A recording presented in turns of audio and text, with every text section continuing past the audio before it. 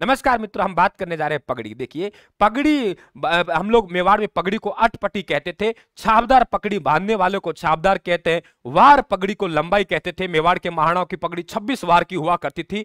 लंबी अगर पगड़ी है तो मेवाड़ की साफा है तो जोधपुर का चपटी पगड़ी उदयपुर की है। उच्च श्रेणी के ठिकानों को उमराव कहते थे मेवाड़ में, इसलिए उमराव पगड़ी भी उदयपुर की है। और देखो रामनगर मथुरिया जी, मथुर और मुगल लोग हैं। इनका राजशाही खूटा जयपुर में रहा है। तो मुगल, मथुरिया, राजशाही खूटेदार कहाँ है? जयपुर में छज्जा और खिड़की बात करें तो मारवाड़ में आवश्यकता है छज्जा और खिड़की की। तो छज्जेदार, खिड़कीदार पगड़ियाँ कहाँ की है? जोधपुर की। जसवंत सिंह कहाँ के राजा हुए जोधपुर के। तो जसवंत शाही पगड़ी जोधपुर की है। अब देखो, अमर शाही हो, उदय शाही हो आरी शाही हो, सब राजा कहाँ के हुए मेवाड़ के। ये पगड़िया पगड़ियाँ कहाँ की मेवाड़ का? और आपको पता है कि युद्ध में केसरिया पगड़ी, ये ध्यान रखें आप, उत्तराधिकार पे सफ़ेद पगड़ी तो ये पगड़ियों से आपके सवाल बन सकते हैं। धन्यवाद, राम राम साहब, धन्यवाद, थैंक यू।